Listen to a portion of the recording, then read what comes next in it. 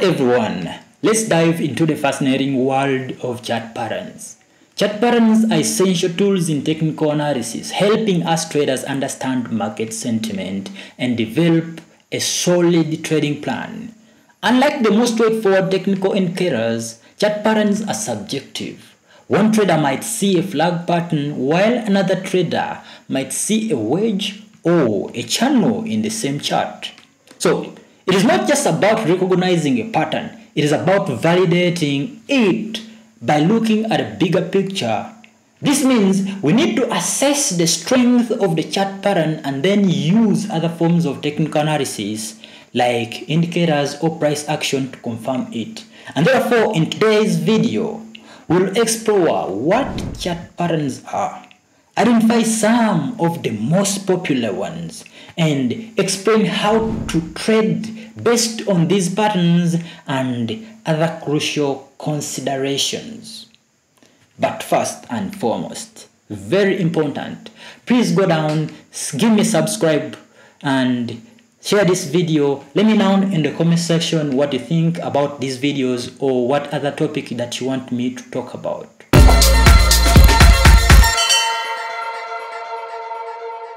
Well, first, let's talk about what chart patterns are. Essentially, chart patterns are a combination of trend lines based on price action. For instance, two converging trend lines might form an ascending triangle, descending triangle, or a symmetrical triangle. These patterns give us insight into market sentiment.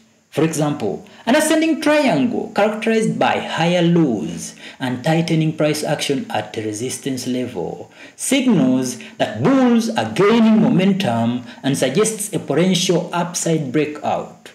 On the flip side, a descending triangle with lower highs and consolidation at a support level indicates weakening buyers and stronger bears, likely leading to a price breakdown.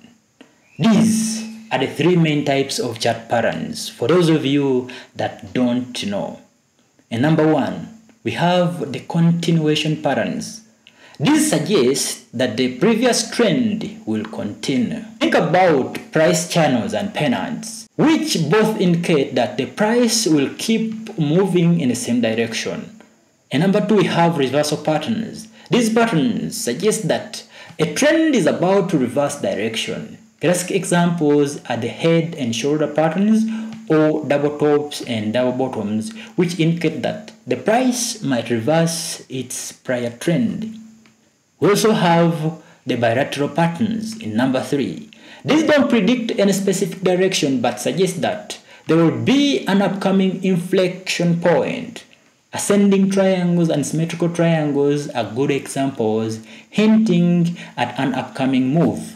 Now, Many traders like to combine chart patterns with other forms of technical analysis. For instance, harmonic chart patterns incorporate Fibonacci sequences to structure retracement and projections.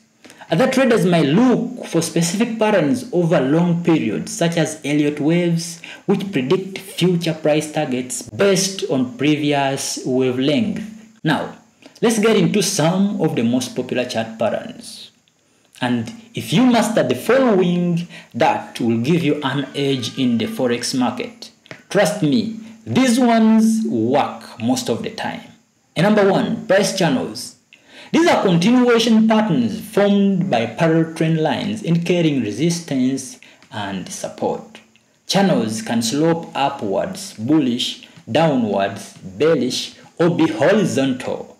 A breakout from the channel's trend line could indicate a trend reversal. And number two, triangles. Amongst triangles, we have ascending, descending, and symmetrical. These are bilateral patterns with converging trend lines indicating potential breakouts or breakdowns. To trade these, look for volume supported breakouts or wait for retest of the triangle for confirmation. And number three, we have wedges rising and falling. These can act as continuation or reversal patterns depending on the preceding trend. Rising wedges or bearish and falling wedges bullish are identified by converging trend lines. To confirm these patterns, use additional indicators like RSI or volume. Myself, I use price action. Or look into inside the, the pattern itself to see if there is a pattern in pattern. Anyway, number four, double tops and bottoms. These are reversal patterns occurring when the price touches the same level twice before reversing. Enter short for double tops or long for double bottom positions after confirming breaks below reaction lows or above reaction highs. And number five, we have head and shoulders. These are reversal patterns with three peaks or troughs, where the middle peak or trough is the highest or lowest. Trade these by shorting for head and shoulders or longing for inverse head and shoulders after confirming the break of the neckline. When observing chart patterns, remember these key points. Number one, pattern strength. The strength of a chart pattern often depends on the number of times the price reacts to the trend line and the volume of those reactions. More high volume touches mean a stronger signal. Number two, breakout confirmation. The most crucial factor during a breakout from a chart pattern is volume. High volume breakouts are much more reliable and help validate the chart pattern's projections. And number three, stop loss and take profit points. Stop losses are usually placed at the lower trend line of the chart pattern, while take profit targets vary depending on the pattern. It is essential to know these points before entering a trade. By understanding and applying these principles, you will enhance your ability to interpret chart patterns and make informed trading decisions. And I hope to be doing a video separate for each of the patterns and how you can effectively trade them. Alright everyone, that is a wrap for today's exploration of chart patterns. I hope you found this video insightful and that it helps you in your trading journey. Remember, mastering chart patterns takes practice and practice. So keep studying and refining your skills. If you enjoyed this video, please give a thumbs up and subscribe to the channel for more trading tips and strategies. Don't forget to hit the bell icon to get notified whenever I upload new content. Your support means a lot and help the channel grow. Feel free to leave any question or comments down below.